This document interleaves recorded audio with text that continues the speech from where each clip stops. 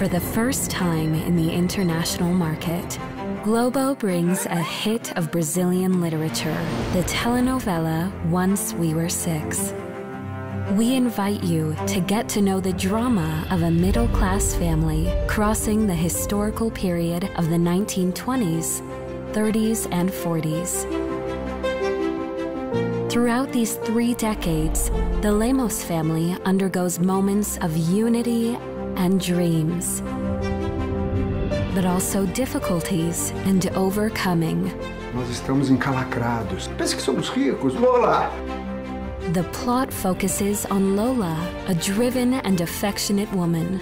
O homem passa a vida trabalhando e quando fica doente não tem dinheiro para comprar um remédio. Eu não quero que vocês se preocupem. Eu resolvo os problemas. The key piece that keeps the family in harmony. Even with all the challenges that herself, her husband Julio, and her four children face.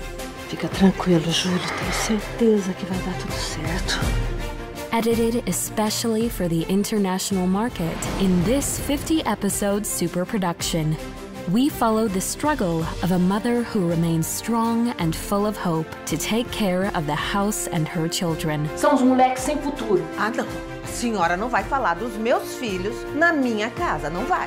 Once We Were Six is an epic and classic telenovela about dreams, relationships, and determination. Eu tive sorte de encontrar uma mulher como você.